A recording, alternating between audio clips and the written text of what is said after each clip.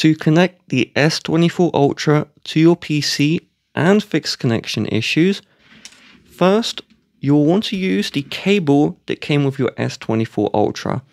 While some third party cables will work, some don't support data transfer, so if the next steps aren't working, you need to swap out your phone for cable which supports data transfer.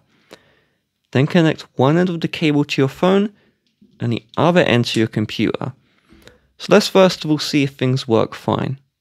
If they work fine, you will see allow access to phone data and then you tap on allow and you will see the files inside of the files app and in this PC we see the S24 Ultra and its internal storage.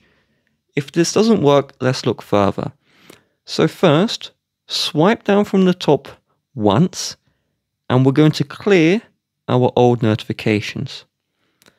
We'll go back to the notification panel and you should see something saying connected to this PC or USB connected, something like this. I see USB for file transfer, and whatever you see here, we see tap for other USB options. So tap for other USB options, and this may be set to charging phone only, and in that case it says USB charging. So we need to set this to use USB for transferring files. And you can see the immediate impact. So from charging phone, S24 Ultra, folders empty, transferring files, we'll reopen the Files app and it should work. There we go. Now, if this is still not working, remember my message about the cable, but also sometimes the USB ports in your PC won't let you do the data transfer. So swap out the ports. I'm using USB-C to USB-C, maybe try USB-A to USB-C or vice versa. And also, if your port of the S24 Ultra has gotten dirty, then you, what you may want to try is get a brush and just rub it inside the charging port of the S24 Ultra.